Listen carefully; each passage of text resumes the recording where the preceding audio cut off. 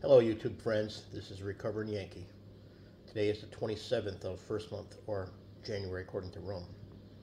And uh, I'm still on a weight loss stall that cannot be explained.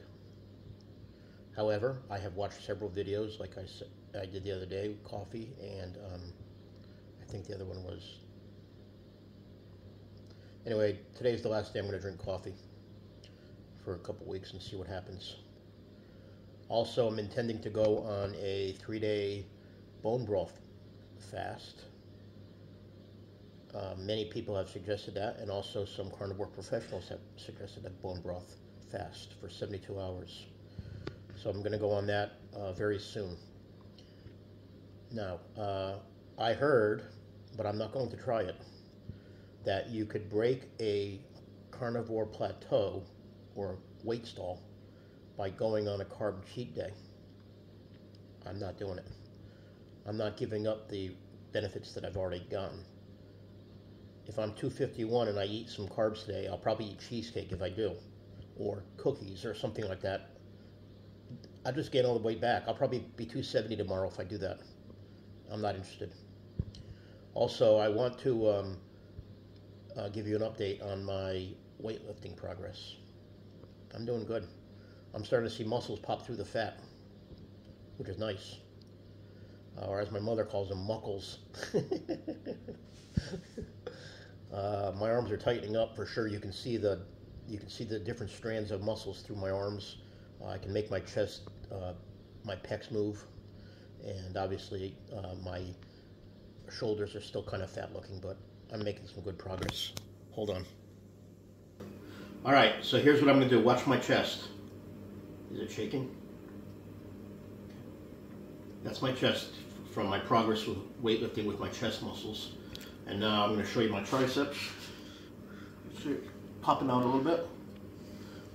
And biceps. See that? Oh, got a cramp.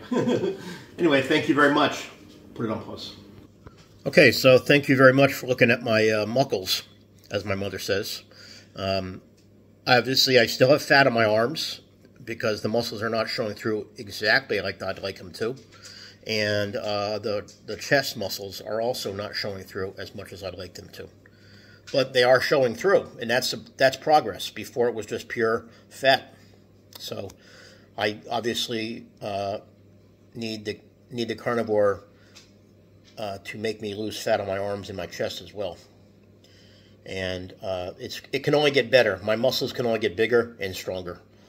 And as I continue to work out, not only with the speed bag, but with the total gym, the muscles are going to start growing.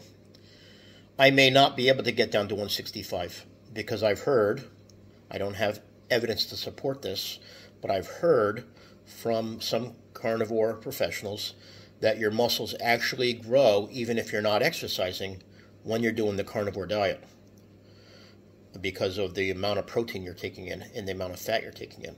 So we'll see.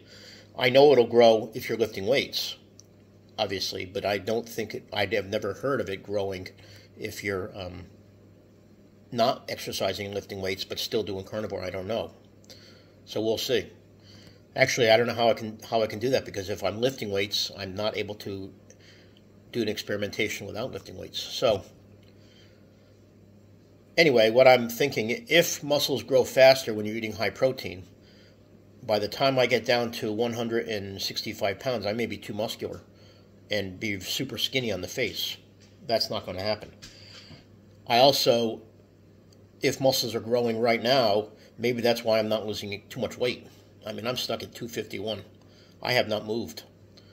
Uh, so tell me what you think. If the muscles are growing and that's why I'm not losing any weight, the girth is still di disappearing on my belly, as you saw in the video previously. And uh, it'll only be a couple more days, I imagine, until I'm down into a size 42 waist.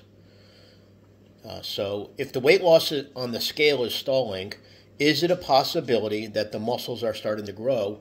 And muscles, as you know, weigh a lot. So uh, anyway, give me give me your ideas and your opinions. Uh, since it's my opinion and your opinion, I can I can take your opinion as as good guidance, uh, and I can take my opinion as good guidance. So, doesn't mean it's fact. Okay? So, anyway, thank you very much. Peace. Hit subscribe and like too, please. I could use some uh, support. Thank you.